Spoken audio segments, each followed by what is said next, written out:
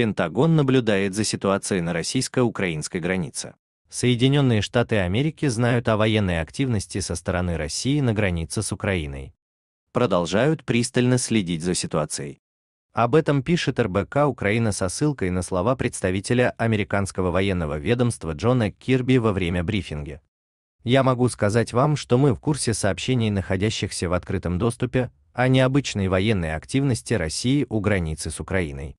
И мы продолжим консультироваться с союзниками и партнерами по этому вопросу, отметил Кирби.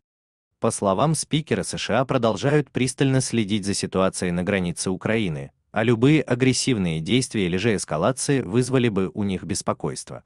И как мы ранее говорили, любые направленные на эскалацию или агрессивные действия вызвали бы очень серьезное беспокойство со стороны Соединенных Штатов, добавил Кирби.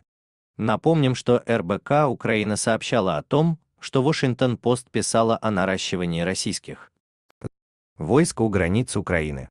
В то же время Министерство обороны Украины опровергло эту информацию.